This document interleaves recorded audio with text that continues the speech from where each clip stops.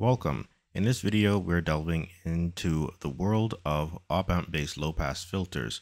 The circuit we're dealing with employs a generic op-amp model with a rail-to-rail power supply, and it's designed to have a total cutoff frequency of 1 kHz and a gain of 1. I'll show you how to modify this circuit so that it's ready for simulation. Okay, first let's add SPICE-enabled power sources on the right and on the left of the circuit, including two DC voltage sources for dual rail power supply.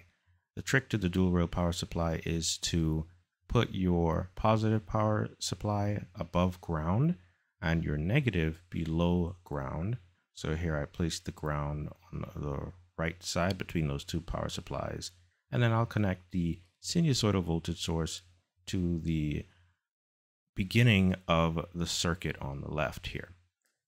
Now for the voltage sources, they're going to be at 3 volts each. And this gives the top source positive 3 volts and the bottom source negative 3 volts um, because it's placed below the ground.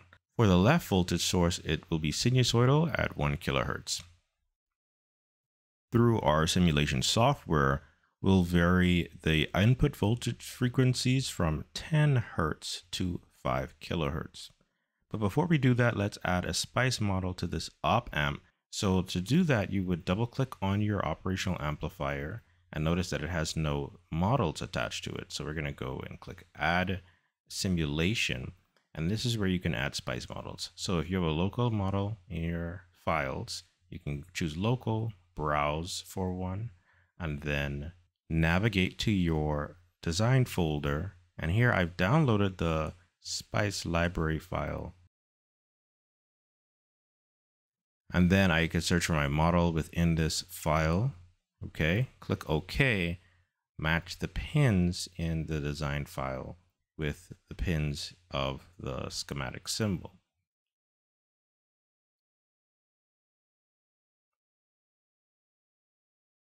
Sometimes the pin names do not match, so you have to make sure they work electrically. This part has two parts in it. Um, and what's cool is that you can assign the same SPICE model pins to uh, schematic pins that have different names, but it's the same function.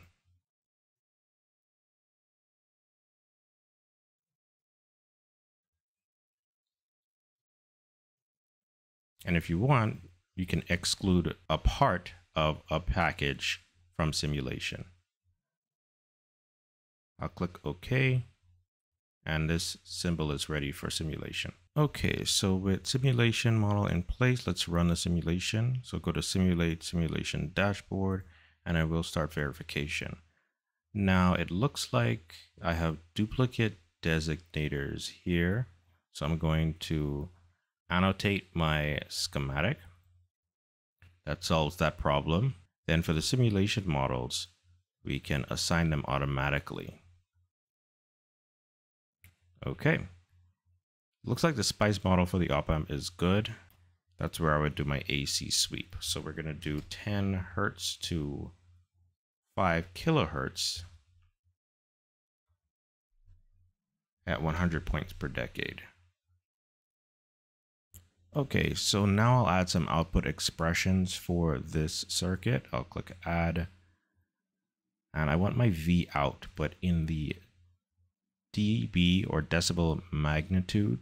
Okay, and I'll go in my complex functions, set that magnitude out for my output voltage.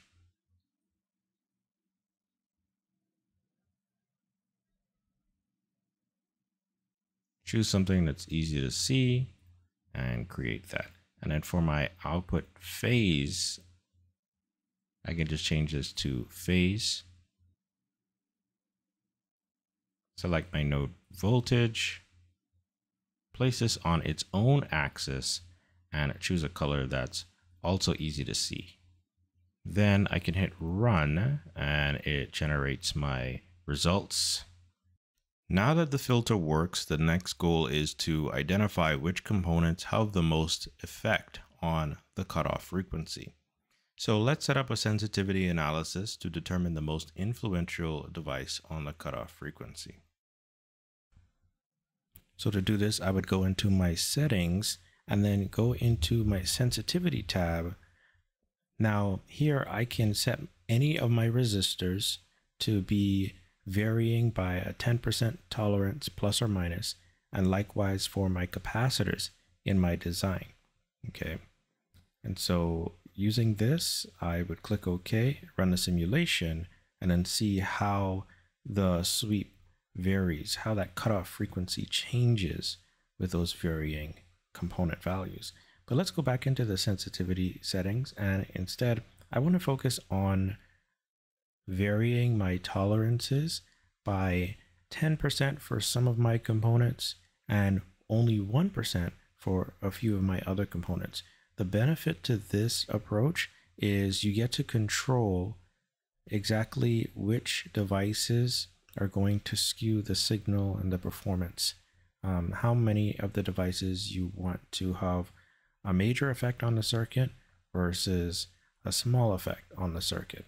Okay, and also I can't just include only the components that I want to change their values for. I have to include other components because they are going to vary their values anyway. So this is why I redo all of the components, but vary them by different amounts. So now we go and rerun the simulation and then see from further analysis which of our 1% tolerance capacitors and resistors affect the circuit the most when other devices are at 10% variance and so on. So these are techniques that you can use to make better decisions and you now know how to do AC simulation, AC sweep, and sensitivity analysis on your circuit.